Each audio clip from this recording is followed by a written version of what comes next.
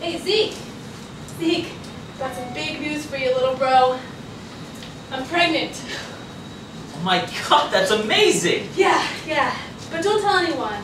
Uh, we just had sex like a few minutes ago. I'm sorry? I mean, don't tell anyone, because we're, we're not going to tell anyone until the second trimester, so, okay? Uh, wait, how far along are you? Oh, I don't know, it's hard to say.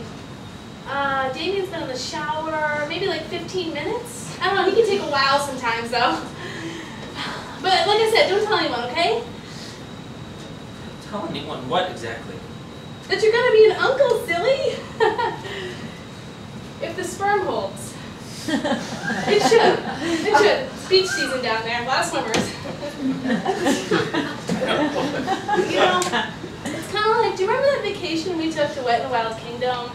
And we rode on that, that log flume and we went in and out of the water and there was just water everywhere. We were like so wet with water and uh, it was like not just like on us, it was like in our hair and like in our eyes and everywhere. I think I'm gonna be a girl.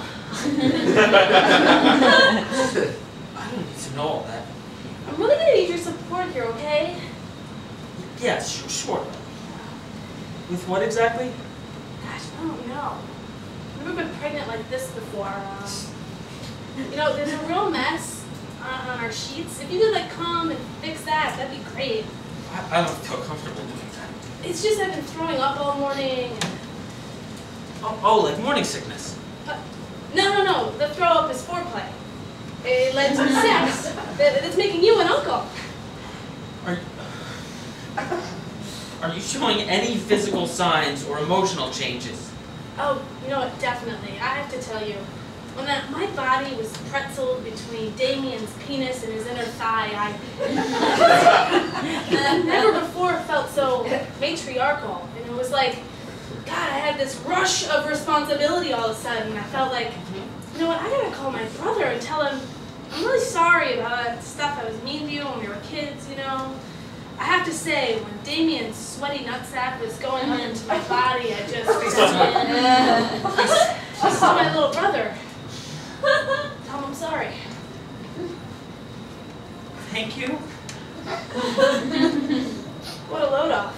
That is a huge load off of my sticky chest. now, while it's coming, while it's coming, I just I've got some more family news I'm gonna unload here.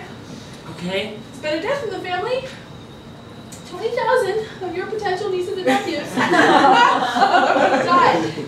on the linens. Hey, babe, you want to do it again? Twinsies!